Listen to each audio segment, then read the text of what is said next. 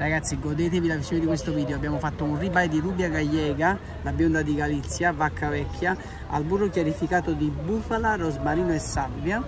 E abbiamo fatto con gli stessi ritagli delle costate da cui abbiamo ricavato il ribeye dei cubetti saltati nello stesso burro con una maionese al peperoncino basilico e lime.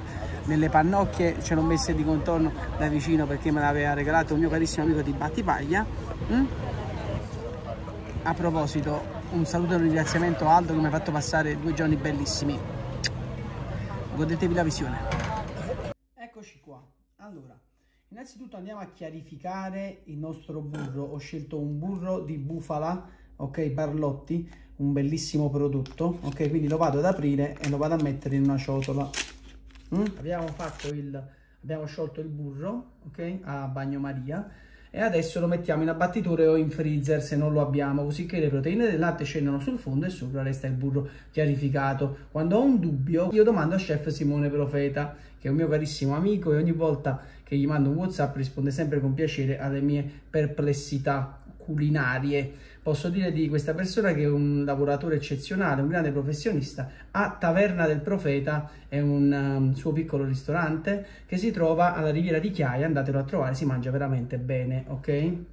Allora, se le beccate al momento giusto, avrete in quella ciotola che abbiamo visto prima di acciaio una parte sottostante di questa proteina del latte, ok? Che è liquida e la parte soprastante che è il nostro burro chiarificato. Nel frattempo vado a pulire la mia spiccata grana. Allora, abbiamo messo nella stessa acqua di cottura le nostre spighe di grano. Vedete sul fondo c'è questa cosa marrone, ve la faccio vedere.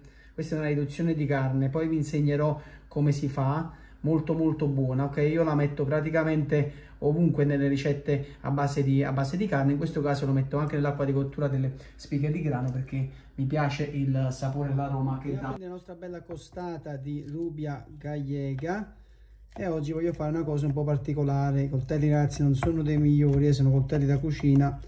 Comprate dei coltelli professionali ok?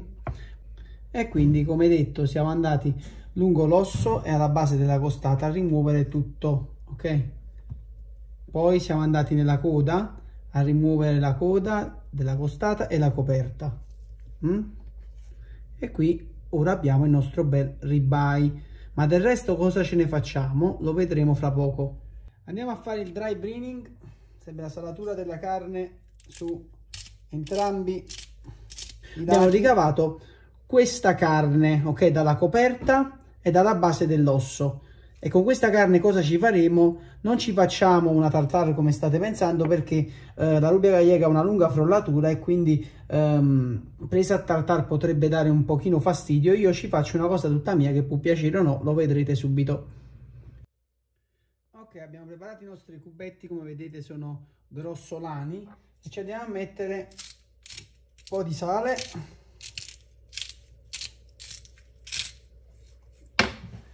un pochino di pepe macinato fresco. Una goccia di olio extravergine e lasciamo riposare un pochino così. Andiamo a mischiare un pochino. Cosa ci voglio fare in questi tre elementi? Lime, peperoncino e basilico. Ci voglio fare un trito andiamo ok? una maionese che possiamo fare noi in casa o comprare anche di una, di una buona marca mm? per, rendere, per, non rendere le cose magari troppo complicate e ci andiamo a mettere il nostro trito di basilico e peperoncino e ci andiamo a fare una grattatina di lime vedete come scende mm? come stavo dicendo una grattatina di lime ma ci andiamo ad aggiungere anche il succo ok e andiamo a miscelare? Intanto il nostro ribeye è pronto vi faccio vedere da vicino vedete come si è come si è cicatrizzata la superficie vedete questa reazione? Questa aiuta molto in cottura. E andiamo a tamponare ben bene con carta asciugatutto su entrambi i lati la tamponiamo bene deve perdere tutti i liquidi perché dobbiamo prepararla per il reverse.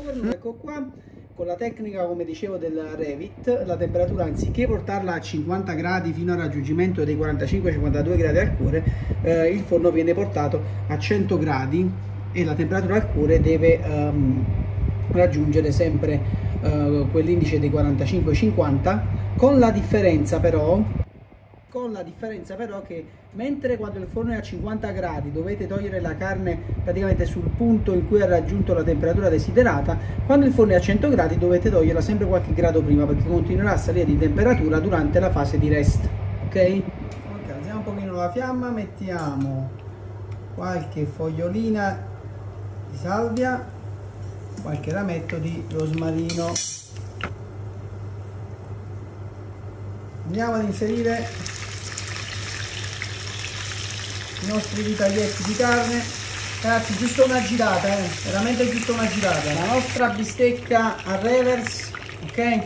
Perfettamente asciutta. Andiamoci a fare il setting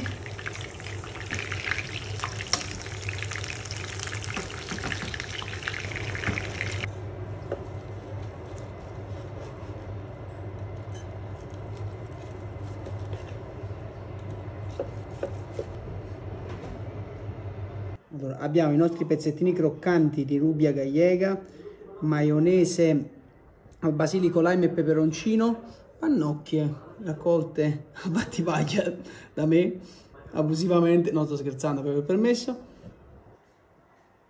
E un'altra panoramica su questa bel ribeye di Rubia Gallega Jiu Jitsu, ok la marca. Un semplicissimo Montepulciano d'Abruzzo di OCG Ragazzi se vi è piaciuto il video condividete, condividete, condividete e soprattutto invitate a mettere mi piace alla pagina e al post stesso. Più condivisione abbiamo, più like abbiamo, più mi stimolate a creare nuovi contenuti sul mondo della carne per voi.